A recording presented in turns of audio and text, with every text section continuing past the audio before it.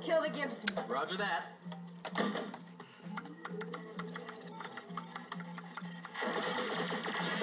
Come on, you son of a bitch. Is that all you got, huh? Come on, let's see what else you can do. You talking to me? Huh? Are you nuts? Come at me.